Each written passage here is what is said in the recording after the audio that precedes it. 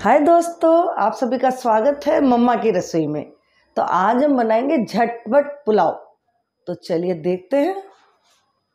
तो पुलाव बनाने के लिए मैंने लिए हैं एक कटोरी। ये वाली कटोरी मैंने चावल लिए इसे धो के साफ़ कर लिया है।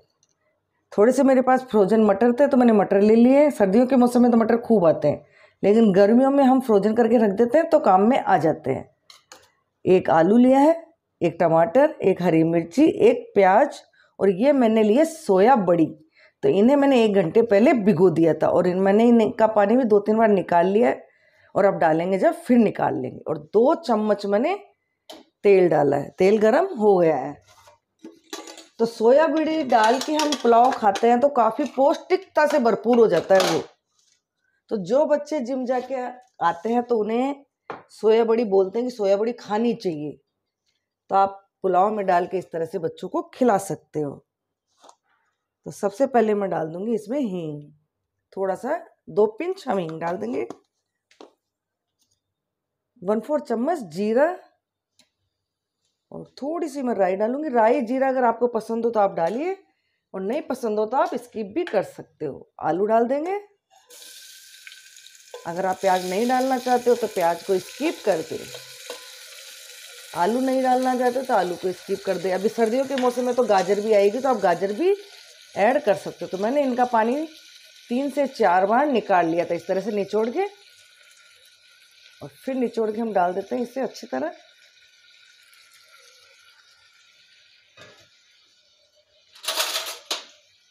गैस में और विनेव एक बार हम मिक्स कर लेंगे।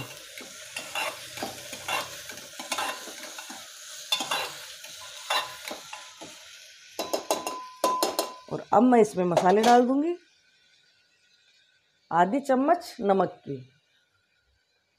नमक, मिर्ची, मसाले टेस्ट के अकॉर्डिंग डाल दें। आधी चम्मच लाल मिर्ची, आधी चम्मच सौंफ, वन फोर चम्मच हल्दी पाउडर। और मिक्स कर लेंगे। तो इसमें आप पत्ता गोभी भी डाल सकते हो, कोई भी वेजीज आप इसमें डाल सकते हो, जो आपको पसंद हो और जो बच्चों को खिलानी हो। चावल आप कोई से भी ले सकते हो। तो चावल भी डाल देंगे इसमें। और ये मटर भी डाल देंगे।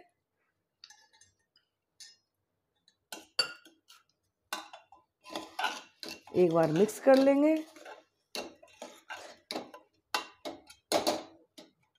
तो मैंने एक कटोरी चावल लिए थे तो मैं दो कटोरी पानी डालूँगी।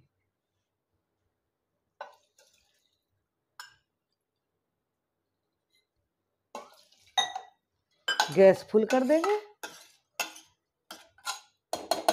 और एक सीटी, आपके जितने देर में भी आपके चावल सीजते हैं, आप उतनी सीटियाँ ले लें। मैं एक सीटी लूँगी। एक सीटी लेने के बाद मैं गैस बंद कर दूँगी और फिर भाप खत्म होने के बाद हम चेक करेंगे। तो मैंने एक सीटी ली थी और भाप ख़त्म हो गई है।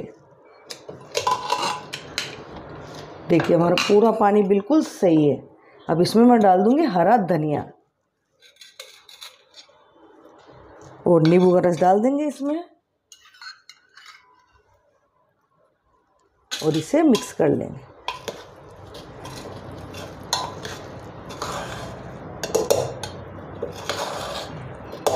देखिए कितना बढ़िया पुलाव बना है हमारा। वो तो चावल के ऊपर डिपेंड करेगा। अगर आप चावल बड़े साइज़ के लेते हो तो वो खिले खिले दिखेंगे आपको। हमने चावल थोड़ी छोटे साइज़ के लिए थे।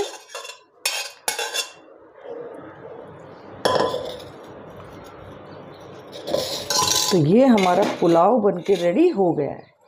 तो मुझे उम्मीद है कि आपको ये रेसिपी पसंद आई होगी और आप ज़रूर ट्राई करोगे। तो मिलते हैं नेक्स्ट रेसिपी में। Bye bye